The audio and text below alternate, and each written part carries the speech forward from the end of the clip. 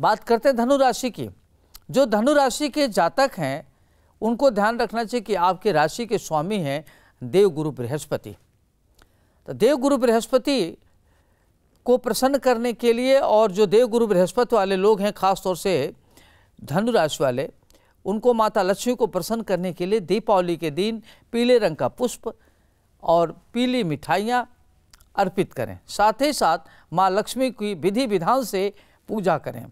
माँ लक्ष्मी की कृपा प्राप्त करने के लिए खीर में थोड़ा केसर मिलाकर अर्पित करें।